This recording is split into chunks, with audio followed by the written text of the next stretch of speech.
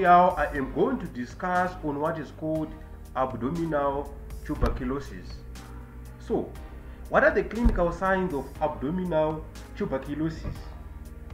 The clinical signs or symptoms of tuberculosis, abdominal tuberculosis are abdominal pain, loss of weight, anorexia, recurrent diarrhea, low grade fever, cough, and distension of the abdomen.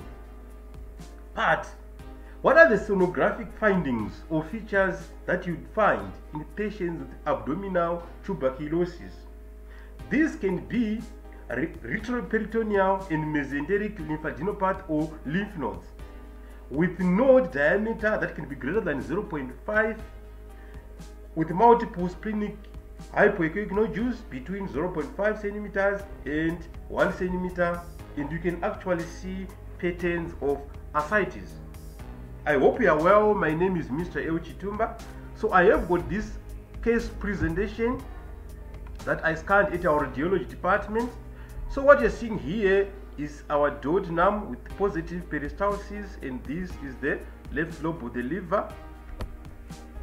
Coming to here, you can actually see here we have got bowel gas that is presenting with an artifact that we call the reverberation artifact.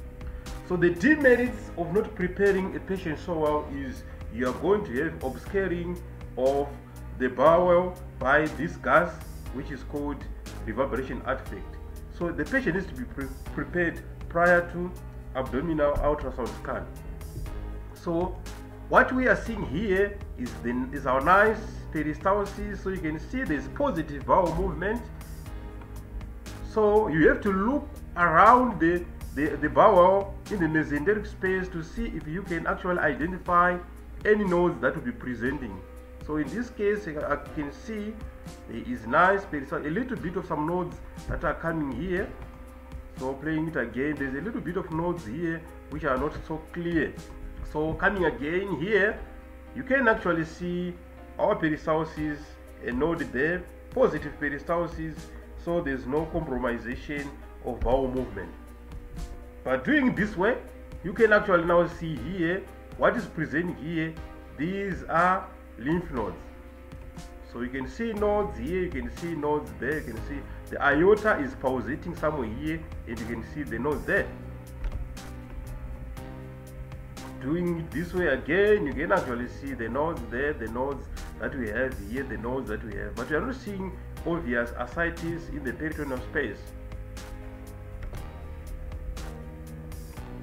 Coming here again so this is the transverse section. In the transverse section you can actually see that the aorta is pulsating and you can actually see the nodes which are here the nodes here. So these nodes that you find around the aorta are called para-aortic lymph nodes. So this patient is presenting with para-aortic lymphadenopathy or lymph nodes on ultrasound scan. You see the node there. So at times you can actually see uh, these nodes in the mesenteric space. So in the mesenteric space, they can actually form conglomerates.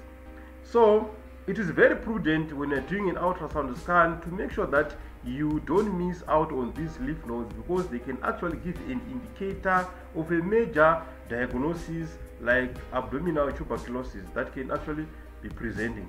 So don't forget to prepare the patient so that bowel gas can obscure so that you don't see the subtle lymph nodes that we can have so once again you can actually see the para-aortic lymph nodes there so when you see the mesenteric or peritoneal lymph nodes you can actually start to suspect abdominal tuberculosis however it's not only TB that can cause abdominal tuberculosis there are other causes like HIV and infection on its own it can actually cause even when someone is having um, malignancy, it can actually present with those abdominal lymph nodes. So the journey of diagnosis, it comes with so many tests.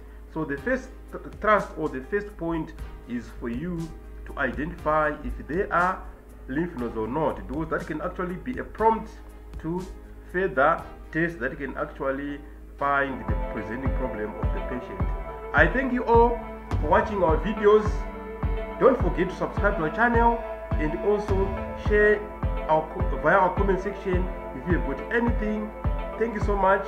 I hope you are blessed wherever you are around the world. Thank you so much.